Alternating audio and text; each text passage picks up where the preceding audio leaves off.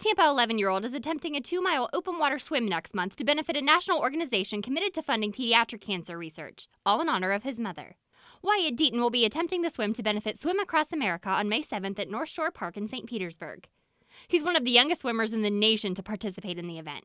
It's for a cause close to his heart.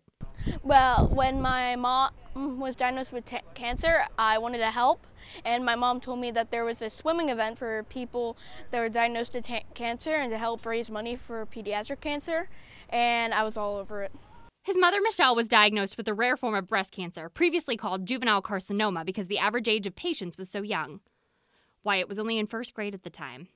Michelle said telling her son she had cancer was scary, but swimming has become an escape for him. And I think this has been a great outlet for him because when it was presented, well, when he joined the team and they talked about Swim Across America, um, I spoke with Wyatt about it and I said, told him a little bit about it with pediatric cancer, and he was all over it. I mean, he wanted to do it because it was a swimming event, and he, that was a way for him as a child to be able to give back. This year, Wyatt will be swimming for two full miles with the company of his swim coach.